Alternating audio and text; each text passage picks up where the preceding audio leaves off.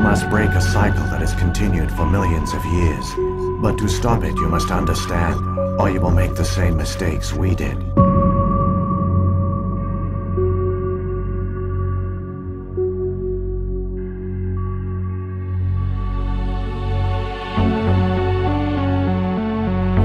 Saren's a threat to every human colony out there.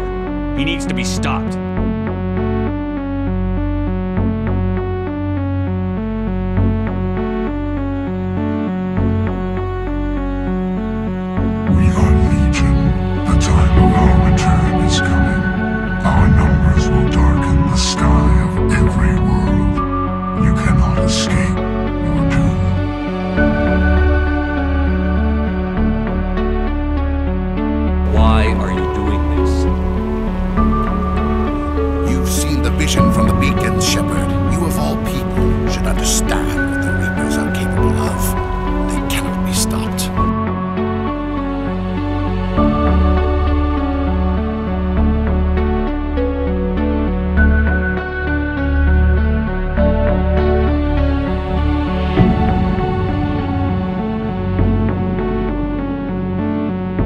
Is it madness to see the future? To see the destruction rushing towards us?